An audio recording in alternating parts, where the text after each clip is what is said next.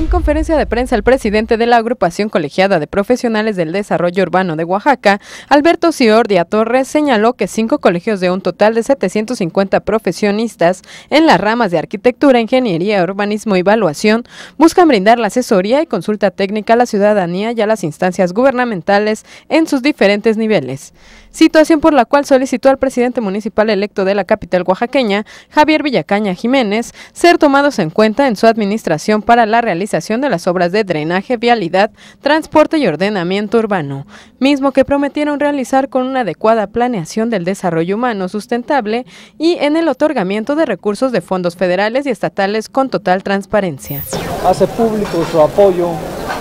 a la próxima autoridad municipal electa del municipio de Oaxaca de Juárez que encabeza el licenciado Javier Villacaña y solicitamos se nos tome en cuenta a los profesionistas y a la ciudadanía oaxaqueña para la realización de los proyectos de la obra que se vayan a ejecutar. Asimismo pedimos se dé preferencia a los constructores oaxaqueños en las licitaciones de dichas obras y se hagan con absoluta transparencia. Con imágenes de José Antonio Reyes para MBM Televisión, informó Metz Libertran.